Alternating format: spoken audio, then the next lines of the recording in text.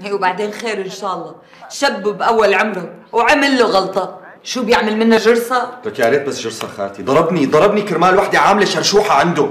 إن شاء الله بتنشل إيده من شرشة. أوف. لا تنفذ معي حق. العمى عايش بنعيم مصريات ابن أختي ولسه بحق له يضربه.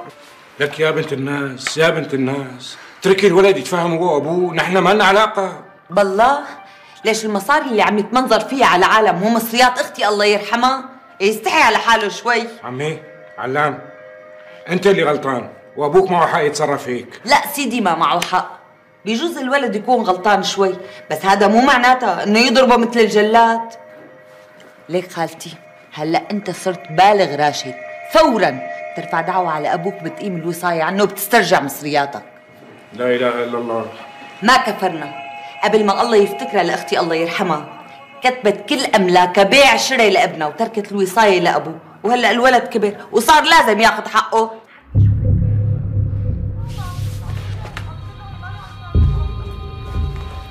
ليك خالتي كل أنزعت أبوه ورفعت مناخيره بمصرياتك انت وصار لازم تاخذهم.